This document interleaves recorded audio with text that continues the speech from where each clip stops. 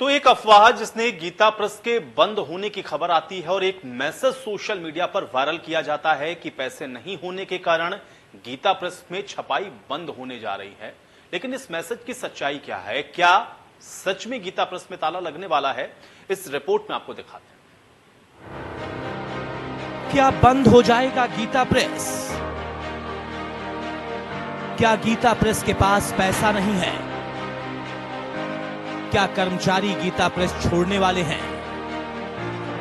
ऐसे कई सवाल हैं जो कि जहन में बार बार उठ रहे हैं, क्योंकि एक ऐसा मैसेज इन दिनों सोशल मीडिया पर चर्चा का विषय बन गया है, जिसे देखने के बाद ये सवाल लाजमी है। इन दिनों सोशल मीडिया पर एक मैसेज वायरल हो रहा है, जिसमें लिखा है कि अब गीता प्रेस बहुत जल्द बंद हो जाएगा। गीता प्रेस के पास कर्मचारियों को देने के लिए पैसे नहीं है। गीता प्रेस को लेकर के एक बार फिर से उसकी छवि को खराब करने के लिए सोशल मीडिया के ज़रिए एक फर्जी मैसेज का जो है इस्तेमाल किया जा रहा है। आप देखेंगे मेरे मोबाइल में मैं आपको दिखाऊँ कि एक मैसेज हो रहा है कि गीता प्रेस के नाम पर सोशल मीडिया में ठगी का गोरख धंधा यानी इस सोशल मीडिया के ज़रिए एक बार फिर से गीता प्रेस को बदनाम करने की कोशिश की जा रही है। अब इन मैसेजों में कितनी सच्चाई है? क्या वाकई गीता प्रेस बंद हो रहा है? क्या वाकई गीता प्रेस घाटे में है या मुनाफे में है? इसको जानने के लिए हम गीता प्रेस के अंदर चलते हैं और ये जानने की कोशिश करते हैं कि गीता प्रेस की जो ये मैसेज है, उससे इसका क्या कुछ कनेक्शन है? वीडियो वायरल होने के बाद इंडिया न्यूज़ की टीम गीता प्रेस पहुँची। गीता प्रेस के नाम पर सोशल मीडिया में ठगी का गोरख धंधा शुरू हो गया है। एक मैसेज कई दिनों से वायरल हो रहा है, जिसके मुताबिक बीते सौ सालों से हिंदुओं की धार्मिक, आध्यात्मिक पुस्तकों का किफायती मूल्य पर प्रकाशन करने वाला गोरखपुर का गीता प्रेस बंद होने वाला है। यह मैसेज कई दिनों से चल रहा है, जिसमें कहा गया है कि गीता प्रेस अपने कर्मचारियों को वेतन देने की स्थिति में नहीं है, क्योंकि वो सारी पुस्तकें बिना लाभ के बेचते हैं। और आगे मैसेज में लिखा है कि धर्म को बचाना है तो इस मैसेज को 20 लोगों को फॉरवर्ड करें। हालाँकि इस मैसेज में किसी का नाम नहीं है और ना ही सीधे तौर पर कोई राशि की मांग की गई है। गीता प्रेस को लेकर के जो मैसेज चल रहे थे, जो अफवाहों का दौर चल रहा था, उसको लेकर के अभी हम गेट से अंदर आए हैं और अंदर आने के बाद आप देखेंगे कि अब हम सच्चाई जानने के लिए अंदर पहुँचे थे तो पता चला कि सारी मशीनें चल रही हैं। जो भी मैसेज आ रहे थे, वो सब कुछ अफवाह था। मशीनें के काम, मशीनों का काम चल रहा है, जो कर्मचारी हैं, वो अपना काम कर रहे हैं। मशीन अपना अपना काम करके गीता प्रेस से लगाए जितने भी गीता प्रेस में पुस्तकें छपती हैं, वो सारी पुस्तकें छपती हुई नज़र आ रही हैं। कुछ बैंडिंग कोई काम कर रहा है तो कोई किताबों को एकत्रित कर रहा है तो कोई इन्हें छपाई का काम कर रहा है। यानी जो काम चल रहे हैं, वो पहले की तरह अभी भी सुचारू रूप से चल रहे हैं।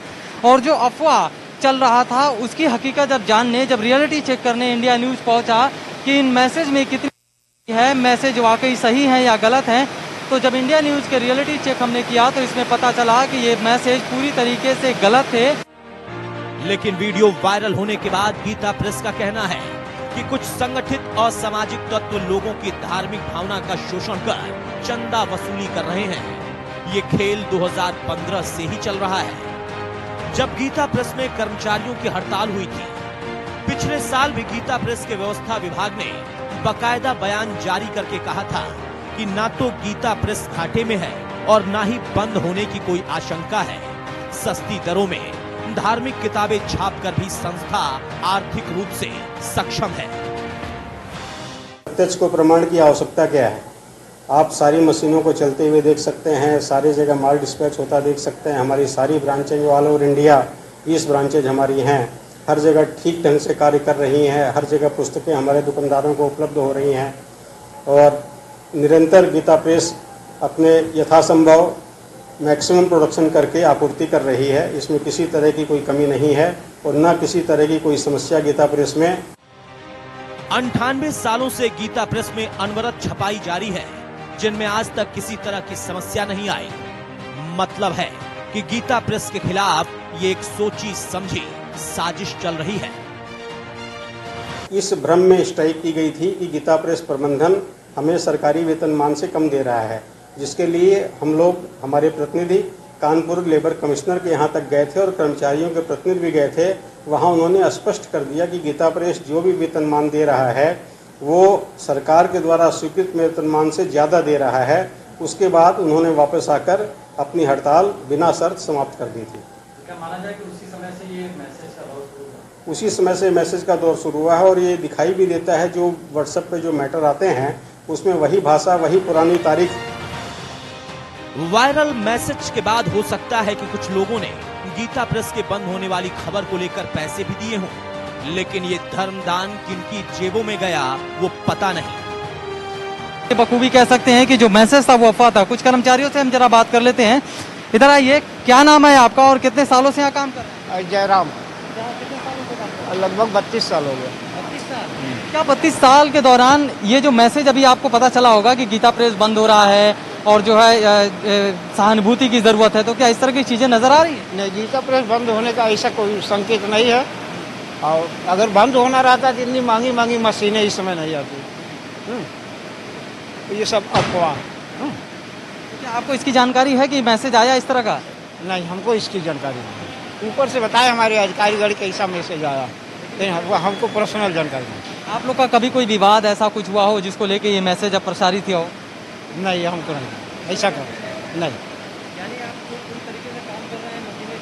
हाँ सुचारू रूप से जैसे चल रहा था पहले उसी तरीके से। मैसेज की पड़ताल में पता चला ये पूरी तरह से गलत है।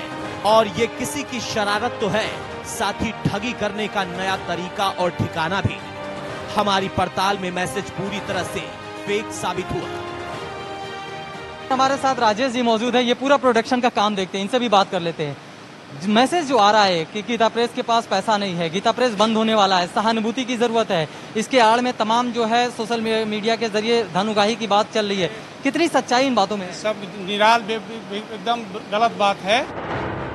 लाखों करोड़ों लोगों की आस्था का केंद्र गीता प्रेस की पुस्तकों को लेकर जिस तरीके से उसके बंद होने की अफवाह फैलाकर जालसाजों द्वारा ठगी की जा रही है इससे निश्चित रूप से लोगों को सतर्क होना पड़ेगा।